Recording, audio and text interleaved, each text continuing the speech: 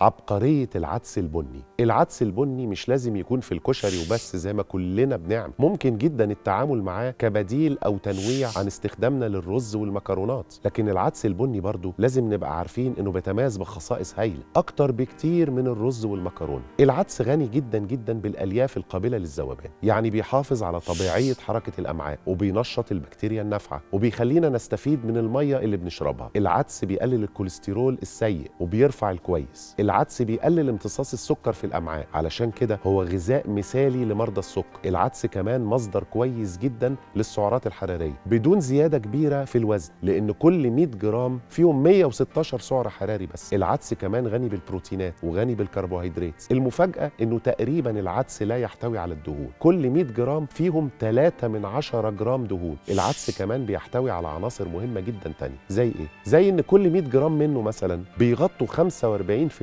من احتياجنا اليومي من ال folic acid و36% من احتياجنا اليومي للحديد. يعني العدس البني ده مهم جدا للحوامل وللأطفال. الأطفال اللي بيعانوا من أنيميا نقص الحديد مثلا. ها خلصت كده فوائد العدس البني؟ لا لسه. كل 100 جرام من العدس البني بيغطي 70% من احتياجنا اليومي من المغنيسيوم. والمغنيسيوم ده ضروري جدا جدا لكفاءة القلب وحرق الدهون وحرق الكربوهيدرات ونشاط المخ. وكمان كل 100 جرام من العدس بيغطوا 28% من احتياجنا اليومي للفوسفور والفوسفور ده مهم جدا. وأخيرا كل 100 جرام من العدس برضو فيهم 127% من احتياجنا اليومي من فيتامين ب 6 وفيتامين ب 6 يعني الناقلات العصبية في المخ يعني تكوين خلايا الدم الحمراء يعني الأجسام المضادة يعني استخراج الطاقه من البروتينات. بس خلوا بالكم زيادة العدس زيادة أكله يعني ممكن يعمل إمساك أو انتفاخ.